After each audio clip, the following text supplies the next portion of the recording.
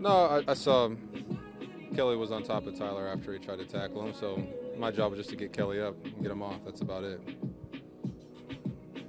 What goes through your mind when you when you see a teammate get hit in that fashion? You never like it, you know. Um, but it's just a tough situation, you know, and now we just got to lock it back in and, and get ready for tomorrow's game. Did you see the slide, the Austin slide? Did you think that that warranted that? I, I got nothing to say about that. Where, where were you trying to take Kelly? I was just trying to get him off of Tyler. That's about it. Um, Tyler tried to tackle him, he kind of dodged out of the way, and I was just trying to pick him up and get him, just get him up. That's about it.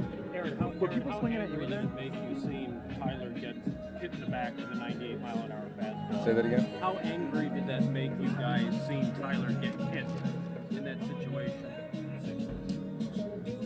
How angry did it make us? No, no one ever likes getting hit with 98 to the back, so everybody was pretty upset about it. Did uh, did you guys kind of raise up a little bit? The pitch before was, was pretty far in too. And did you raise up after that? And, you know, kind of get get ready. So to? Not really. We didn't really. Nothing really happened until he got hit. Aaron, a lot of offense today, emotional win. Can a win like this kind of fuel you guys a little bit, give you some momentum?